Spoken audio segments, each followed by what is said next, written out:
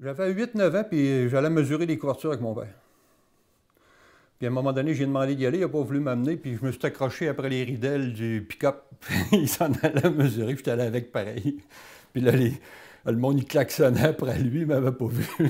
je voulais y aller. Il n'était pas de bonne humeur. Moi, quand je travaillais pour papa, je faisais des couvertures en asphalte. Après ça, j'ai tombé pour une autre compagnie. J'ai fait un peu de ferblanterie, mais c'était plus de la baguette que de la canadienne que je faisais. Puis après ça, euh, pour, euh, quand j'ai travaillé pour Eugène Prémont, euh, j'étais à l'équipe volante. Ça veut dire aller changer un morceau de cuivre au Château Frontenac ou à l'édifice Presse à Québec. Je fais l'atelier quelques jours pour faire les, morceaux de base pour décoller mon histoire, surtout les points de départ là, les rangs de départ. Puis après ça, je vais arracher la toiture quand il fait beau. Quand il pleut, on fait de l'atelier. Il faut tout préparer ça. On a reçu un tas de tôle comme tu vois à terre.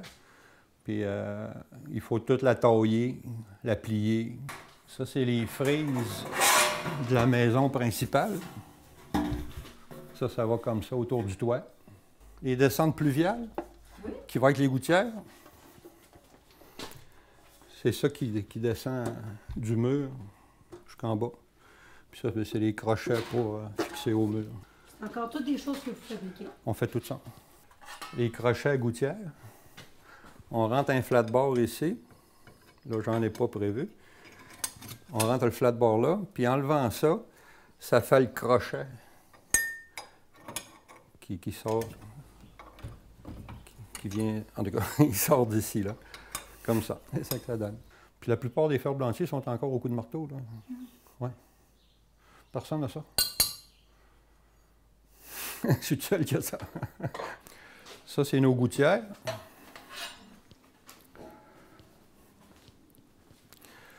La première affaire qu'on pose, on les cloue dans, le bas de la toiture. Après ça, on met un solin. On met le solin. Ça, ça cache les clous qui tient la dalle en arrière. Après ça, on met un crochet comme ça, qui est vissé dans le toit. Puis ça, là, on marche debout là-dedans. À toi deux pieds, on peut mettre un gars de 250 livres debout dans mes gouttières partout. On fait des toits qui sont là 130 ans. La gouttière est là 130 ans. Ça, c'est la, la, face de la reine Élisabeth, la mère. Puis ça, c'est une autre marque. C'est des affaires quand on arrache des vieilles toitures, on ramasse des échantillons comme ça. Ça, c'est un outil qui faisait les agrafes à tuyaux autrefois, que j'ai fait modifier trois quarts de pouce pour faire des morceaux de tôle canadienne.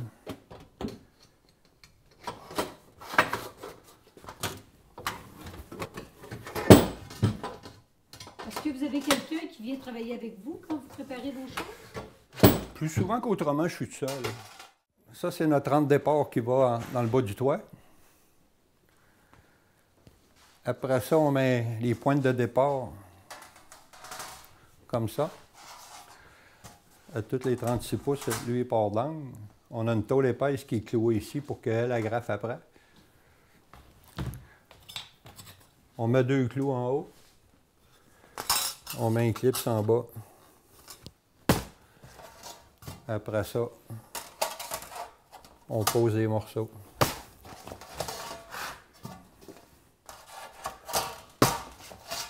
Puis lui, il va venir chevaucher lui de 4 pouces. Comme ça.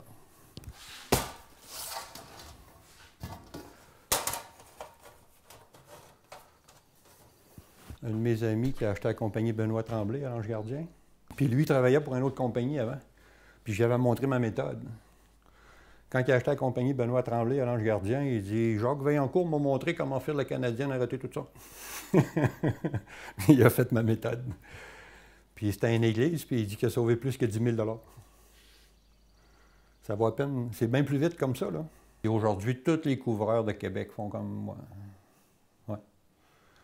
Puis même mon père, quand il a fait sa couverture à canadienne, là, il dit T'inventeras rien, puis il dit. Euh, la vieille méthode va rester là pareil, puis quand il a fait sa couverture, il m'a emprunté mes outils pour, pour faire sa toiture. Autrefois, il prenait des morceaux de tôle de quatre pieds, il clouait à travers les agrafes, puis il repliait la tôle par-dessus les clous, il travaillait avec un équerre, puis il reclouait par-dessus, puis il faisait ça comme ça. Puis ça n'arrivait pas tout le temps à la même largeur, les morceaux. Regardez, il y a un morceau plus large là, plus petit là. Lui, il est plus petit que les deux autres. Ça arrivait n'importe comment. Puis ça, là, ben, avec l'expansion des métaux, les clous, ils, finissaient par agrandir dans le bois, puis ça lâchait le bois quand ils ventait. Tandis que ça, là, il y a un clips là, il y a deux clous là. Cette partie-là, il n'y a rien qui. aucun obstacle, il n'y a rien qui tient. Là. Fait que ça, ça reste tout le temps bien à plat. Ça, permet au métal de rester vivant, à bomber, à C'est ça. Parce qu'une feuille de 8 pieds prend plus qu'un 8 d'expansion euh, du plus froid au plus chaud dans l'année.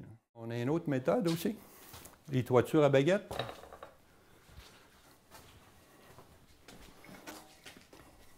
Ça, c'est nos baguettes. Elles sont plus étroites en dessous qu'en dessus pour l'expansion des métaux. Fait qu'au lieu de, faire des ballons d'inhérentes baguettes,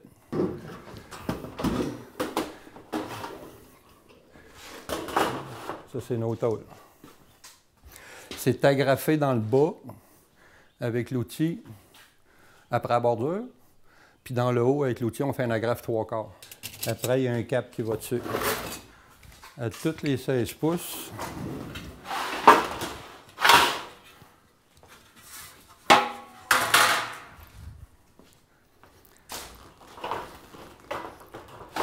À toutes les 16 pouces, il y a un clip comme ça qui tient la tôle partout, à grandeur.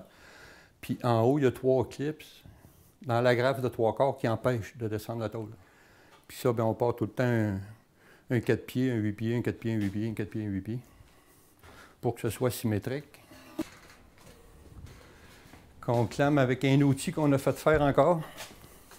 Il y a beaucoup, beaucoup d'outils en ferblanterie qui n'existent pas. On les fait faire. Par qui vous faites faire ça? Les machinistes. Quand on pose les clips, il faut qu'ils soient bien rentrés.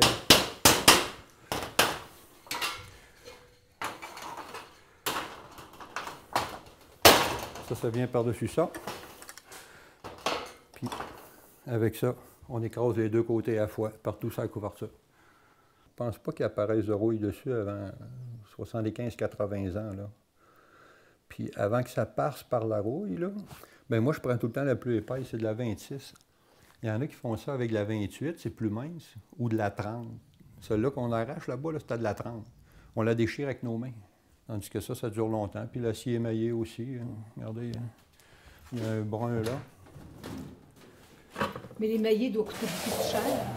C'est plus cher que le galvanisé. Mais toutes les anciennes bâtisses, ils les refont en galvanisé parce qu'à l'origine, c'est en galvanisé. C'est ça qui est. Mais c'est beau comme look, moi, C'est très beau. Mes toitures sont toutes comme ça, en galvanisé.